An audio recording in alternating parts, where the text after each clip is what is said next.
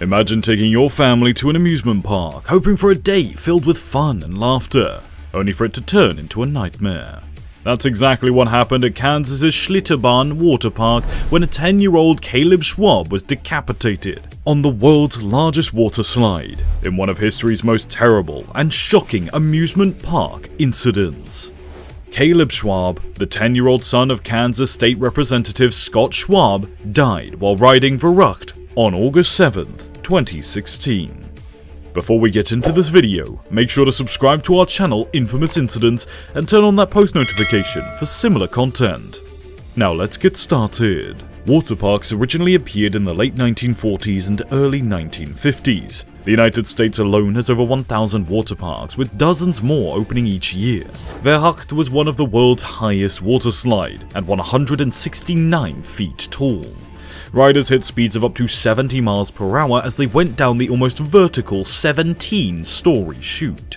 Visitors worldwide went to Schlitterbahn Water Park in Kansas City, Kansas to experience all of the thrills. It was a sunny Sunday afternoon on August 7, 2016, with a pleasant 78 degrees Fahrenheit.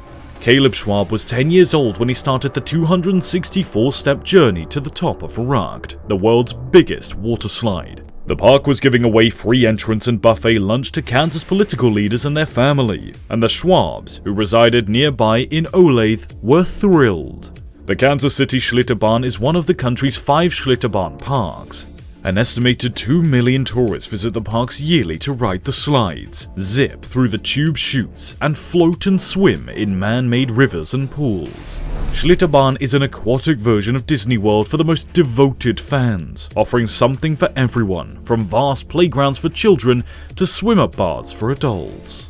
Jeff Henry, 63, was the Schlitterbahn Parks' principal visionary and was regarded as the water park business genius. He frequently stated that his life's objective was to make Schlitterbahn customers happy, to put a smile on their faces, to give them a thrill or two. Riders gave it rave reviews when it first debuted to the public in July of 2014. By the time Caleb climbed Verrückt steps, 100,000 adrenaline addicts had already ridden off it. According to park regulations, a Verrückt rider had to be at least 54 inches, or 4 feet and 6 inches tall. Caleb weighed 72 pounds and was 4 feet 11 inches tall.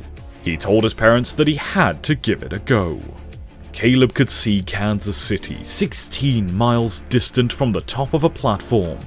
An employee used a velcro belt and put shoulder straps on to secure him to his seat. The gate swung open and the conveyor belt underneath the raft started moving. Caleb felt as if he had fallen off of a skyscraper. The raft flew down the first hill and then up the second, 55 foot slope. Instead of staying in its fiberglass flume and climbing the slope, the raft soared into the air. Caleb was instantly decapitated as his head collided with a net and a semicircular metal hoop that arced over the top of the slide, slicing through his neck. Everyone began to scream as his body sank towards the runout pool. Onlookers kept Caleb's mother from watching the incident, which one witness described as a nightmare beyond comprehension. The Henrys settled into a tiny house on the land and renamed it to the Lander Resort. Bob built two slides that dropped visitors into the Comal River to attract more customers. Jeff, the middle kid, had no desire to pursue a formal education. After high school, he worked for his father and operated a video arcade bar in San Marcos. When he realized that some of the people going down his father's slides were hitting the water too hard, he devised a water break, a dip at the end of the slide that slowed the guests down. Five days after Caleb's passing, his burial was held at the Life Mission Church in Olathe. Schlitterbahn made no public comments, but spokesperson Winter Prosapio stated that the company was deeply and intensely saddened for the Schwab family and all of those affected by the tragic accident. Reporters in Kansas City began investigating the safety of Schlitterbahn's Verrückt water slide, which they discovered to be self-inspected. Investigators and detectives from the Kansas City Police Department, the Kansas Bureau of Investigation, and the Kansas Attorney General's office arrived at Schlitterbahn to interview Tyler Miles, 29, who had worked at the park since 2013 and had progressed from construction worker to lifeguard to director of operations. Later, investigators discovered that Schlitterbahn staff were required to file frequent ops reports regarding the rides they oversaw, and that Verrückt had issues that were never made public. Riders claimed that they were wounded while their rafts were still in the chute in five of the accidents. Investigators looked into the Groves incident at Verrückt and decided that Miles avoided or delayed completing repairs that would have placed the ride out of commission.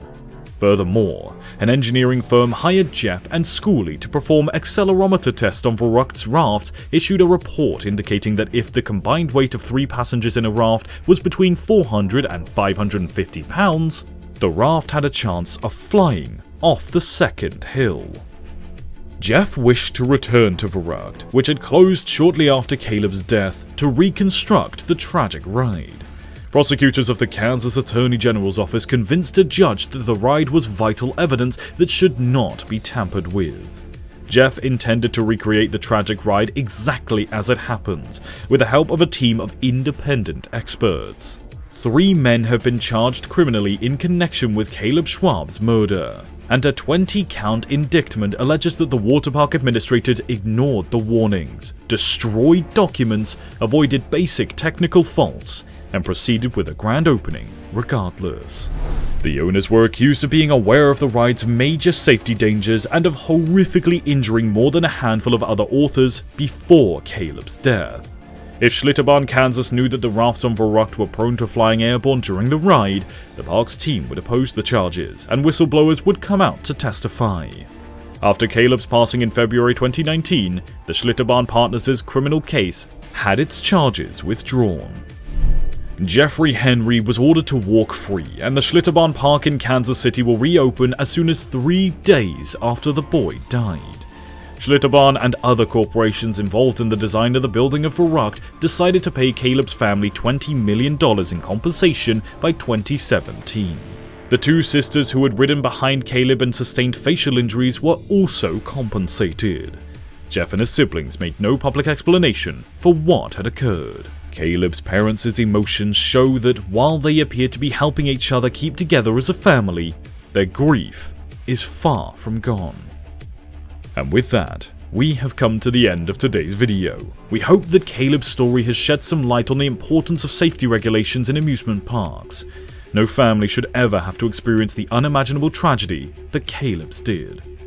What steps do you think amusement parks should take to ensure the safety of their visitors? Do you think enough is being done?